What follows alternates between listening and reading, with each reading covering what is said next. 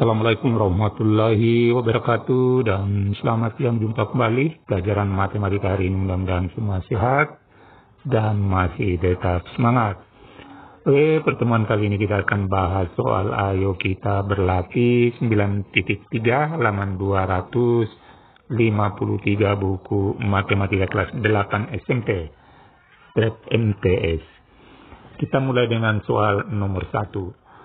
Sebuah data hasil ulangan harian matematika kelas 9A menunjukkan 8 siswa mendapat nilai 95, 6 siswa mendapat nilai 85, 10 siswa mendapat nilai 80 dan 9 siswa mendapat nilai 70 dan 7 siswa mendapat nilai 60 tentukan rata-rata nilai ulangan harian matematika di kelas tersebut. Perlu diketahui mencari rata-rata adalah jumlah nilai dibagi dengan banyaknya siswa. Sehingga kita jumlahkan atau kita kalikan yang dapat 958 orang kita kali 8 ditambah 6 kali 85 yang dapat 80 10 orang kali 10 yang dapat 70 kali 9 orang yang dapat 65 kali 7 baru kita bagi dengan jumlah siswa seluruhnya 8 tambah 6 tambah 10 tambah 9 tambah 7 hasilnya 3155 dibagi 40 sama dengan 78,875. Soal nomor 2, perhatikan dua data berikut. Data X adalah 45567 dan seterusnya. Kemudian Y 4556778 dan seterusnya. Dapatkan mean, median, dan modus untuk tiap-tiap data X dan Y. Berikutnya jelaskan mengapa min dari Y lebih besar daripada min dari X. Jelaskan mengapa median dari Y sama dengan median dari Y. Jadi setelah kita cari data untuk X, minnya rata-ratanya adalah 7,71. Jadi ini diperoleh dari kita jumlahkan semua angka-angka ini baru dibagi banyaknya ini angka dapat 7,71. Kemudian median, mediannya adalah angka tengahnya yaitu 8. Jadi ini angka tengahnya antara 4 dengan 12 setelah data ini terurut.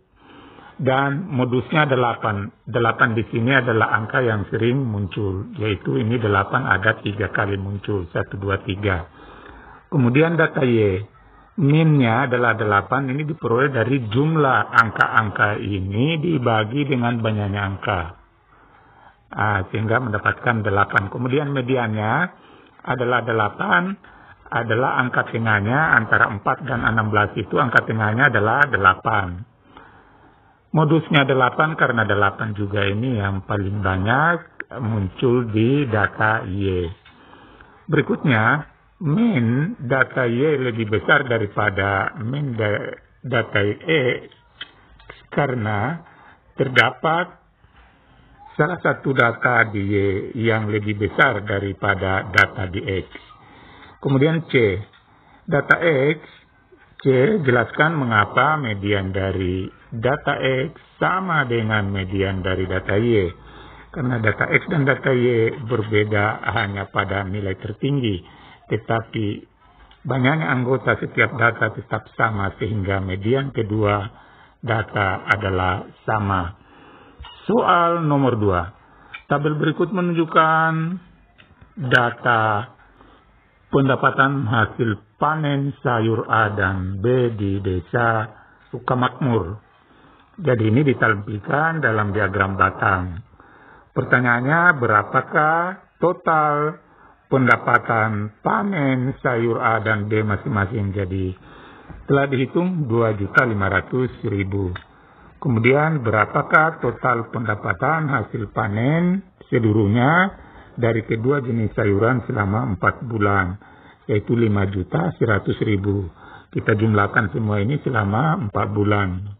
Bulan apakah terdapat selisih pendapatan terbesar dari panen sayur A dan B yaitu di bulan Oktober. Ini selisihnya besar sekali.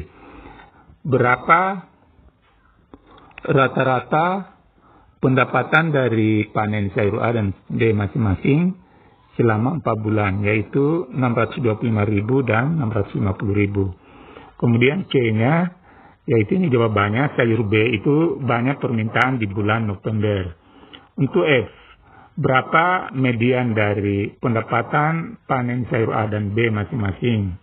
Yaitu 675.000 turut-turut dan 650.000 rupiah. Berapakah banyak pendapatan dari panen sayur B akan pada bulan November agar rata-rata penghasilan hasil panen sayur B selama bulan Juli sampai November menjadi 800 ribu rupiah, yaitu 1 juta 400 ribu rupiah. Nomor 4, data berikut menunjukkan tinggi badan 20 siswa kelas 8 SMP Ceria. Jadi inilah angka-angkanya, urutkan data di atas. Nah ini kita urutkan mulai dari 149, terakhir 168. Yang tertinggi. Kemudian mennya atau rata-ratanya kita jumlahkan semua datanya ini uh, yaitu 3122 dibagi 20 orang dapat 156,1. Kemudian mediannya setelah kita uh, lihat mediannya itu angka tengahnya berarti 155.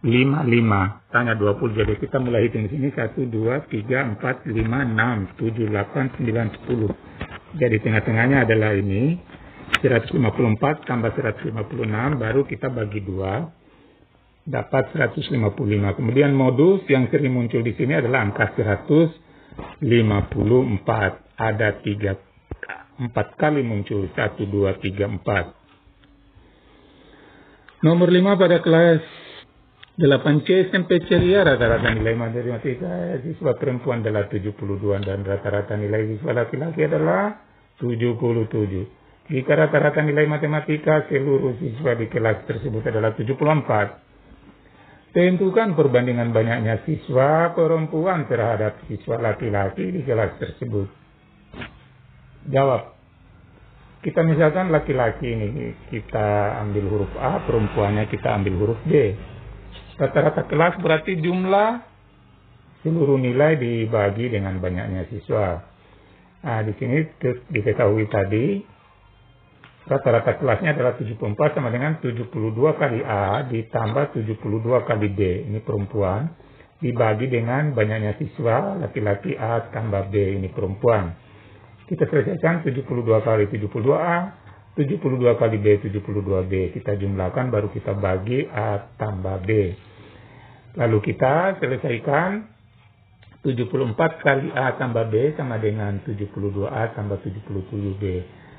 74 tambah 74B sama dengan 72A ditambah 77B. Kita kumpulkan A-nya 74A kurang 72A sama dengan 2A. Kemudian 77B kurang 74B sama dengan 3B. Sehingga perbandingannya adalah 2 berbanding 3. Demikianlah pembahasan kita. Mudah-mudahan ada manfaatnya. Wassalamualaikum warahmatullahi wabarakatuh.